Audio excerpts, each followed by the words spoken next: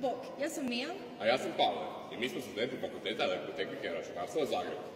Na Feru možeš studirati čak dva prijediplomska smjera, elektrotehniku i računarstvo.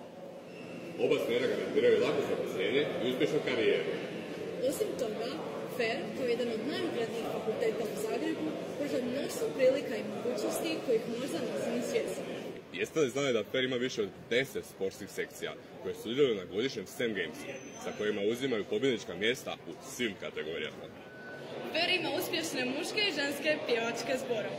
I mnoštvo studentskih udruga kojima možeš kvalitetno provoditi svoje vrijeme, zabavljati se, a ponešto i naučiti, poput seta, isteka, e-studenta i mnogih drugih.